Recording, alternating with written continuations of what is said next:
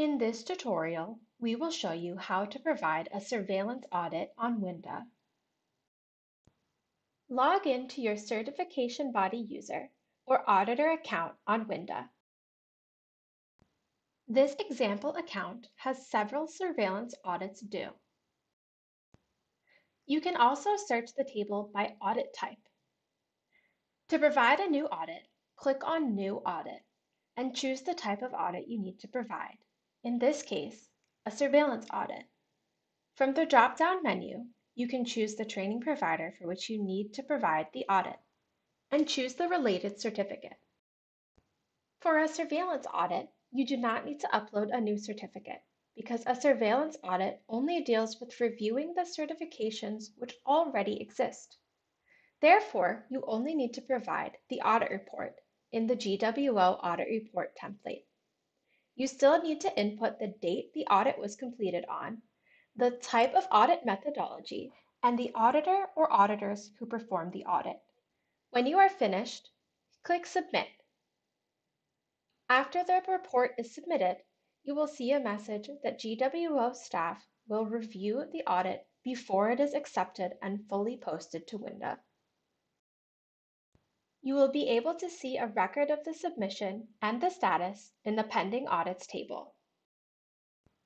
If a GWO staff has any questions or requires any corrections to be made to the audit, you will receive an email notification.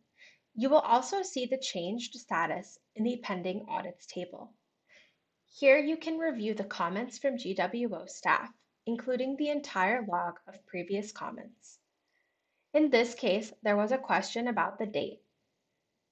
It is possible to correct any of the information given and upload a new document at this point. When you're finished, you can add comments back to GWO staff to explain your updates. When you're done, click Submit, and the GWO team will be notified of your changes. The status changes back to requested in the Pending Audits table. When the audit and audit report are accepted by GWO, you will receive an email notification. Clicking the link will take you to the audit table where you can see your newly added audit. Now the surveillance audit will be marked as completed, and it will show the date on which it was completed. If you need to, you can always search this list using the Winda ID or the name of the training provider. Here you can see the schedule for the remaining audits for this training provider. In this case, only the recertification remains. If a surveillance audit is completed too early, Winda will automatically schedule another activity due date for a follow-up surveillance audit.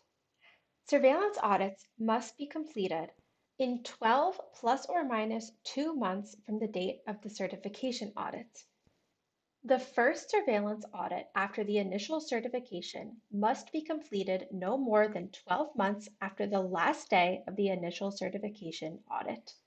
If a surveillance audit is done when more than 14 months remain on the certificate cycle, an additional surveillance audit will be added. In this example, the certification audit was done in December 2020, and the surveillance audit was uploaded in August 2021. This is too early, and so another activity has been added for October 2022. Keep this requirement in mind when scheduling surveillance audits.